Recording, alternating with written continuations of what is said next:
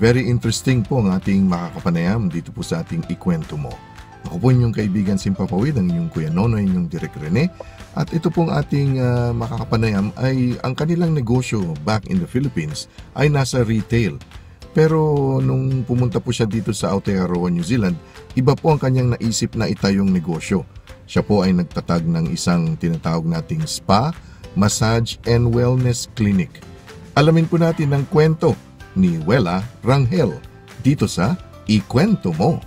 This might come as a surprise to you guys, but the Wella that you see now is the, the Wella five years ago.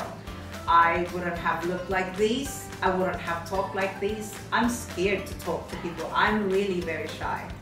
But for some reason, I just thought, you know, like life has always been a cycle. And as a woman, you know, we have stigmas, we have expectations from the society and our culture. And I thought, I don't want to fit in, you know, like we are all growing old and I want, there's like a light bulb moment. So I felt like, okay, I need to do something different. I need to change. I need to do something that if I was on my deathbed, you know, something that you would remember. These things that you cannot buy, but you know, these are the, I think these are the most important things in life. So I started my journey as a woman. What I did was to show everybody that um, being beautiful is not just because I was always told like you've got a beautiful heart, you've got a beautiful heart, you're so kind. But then people around us have a different definition of beauty, and so I felt like that's quite unfair. And so I thought like, okay, beauty doesn't have to have labels. So then I began my campaign. The first thing I did was to encourage all my workmates. So I used to be very big back then, and I kind of like plump up a little bit and so I joined Mrs. New Zealand. And I, believe it or not, I won Mrs. New Zealand um, People's Choice Award. I was pretty much liked by everybody. Well, that's the result. But then um, that's that's how I came to um, how do I say this? Spread to people, spread to women, especially that beauty is not of race, of religion, of age, of demographics. It's just nothing, no labels. Just be you, accept you, and we are all beautiful as we are. So I thought, okay, this so this business actually isn't a business. This business have a heart, and this is why this is very important to me. This this is not just an ordinary spa. I'm just on my um, beginning. I'm just starting out. It's actually meant to be an empowerment spa.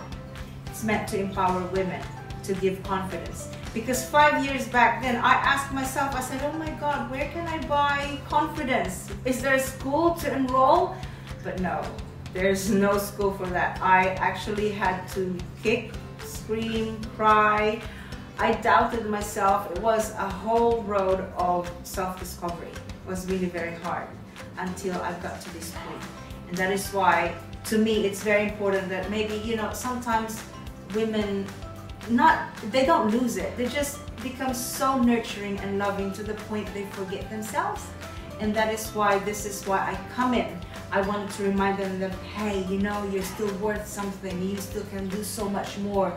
You know you've finished giving your kids your husband all the love that you have. You know it's time to take care of yourself so you can give more that's that's the message of this. To be honest, this business isn't my forte. This is not what I'm really good at. Back home, we have a retail business. It's, it's really successful. It's been going on for 50 years now.